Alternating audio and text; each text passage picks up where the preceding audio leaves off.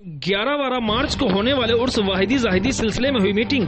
UP के हरदोई बिलग्राम मोहल्ला सुलाड़ा खान का है। वाहिदी जाहिदी के साहिब सज्जादा हज़रत हुसैन मियाँ की सरपरस्ती में मदरसा वाहिदी सुल्तान पीर बाईपास पर तीन मार्च दिन जुमा को सात बजे उर्स सिलसिले में एक मीटिंग हुई, जिसमें हाफिज सोएब ने तिलावत कुरान पाक से शुरुआत की, उसके बाद नातो मनकवत पढ़ी गई। सैयद हुसैन मियाँ वाहिदी ने मीटिंग में आए हुए मेम्बरान को उर्स में अलग अलग जिम्मेदारियाँ सौंपी। आपको बता दें, ये उर्स ग्यारह मार्च दिन सनीचर को वाद नमाज़ अशर चादर का जुलूस दरगाह वाहिदिया से निकलेगा। वाद नमाज़ ईसा वाहिदी कॉन्फ्रेंस शुरू होगा। बारह मार्च इतवार को सुबह आठ बजे वाहिदी कॉन्फ्रेंस व दोपहर एक बजकर पैंतालीस मिनट पर हज़रत मीर सैयद अब्दुल वाहिदी रहमतुल्लाह का कुल शरीफ होगा। इस दौरान हज़रत सैयद असलम मियाँ, सैयद अफजल मियाँ, सैयद फैसल मियाँ नगर पालिका अध्यक्ष पद के प्रत्याशी आसिफ अली सम्मू, राशिद अंसारी, नाजिम खान, नयाब आलम, सादाब आलम और सभी वाहिदी मेम्बरान मौजूद रहे।